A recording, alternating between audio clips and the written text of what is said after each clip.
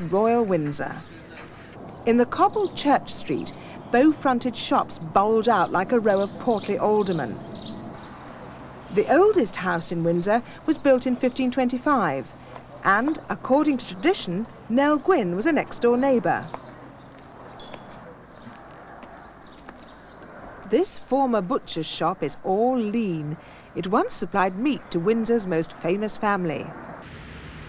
Windsor Castle has been a royal residence since Henry I and is the largest inhabited castle in the world. It was begun in the 11th century by William the Conqueror, but its most conspicuous feature, the Round Tower, was only completed in 1828.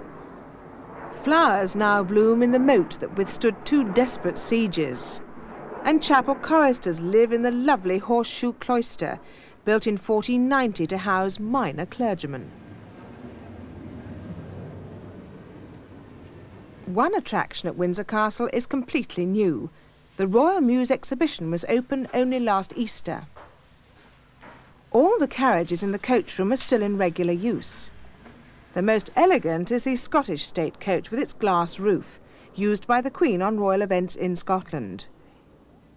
The first of these dazzling state landaus was made for Queen Victoria's coronation in 1838, but by then the horse was already galloping into the past.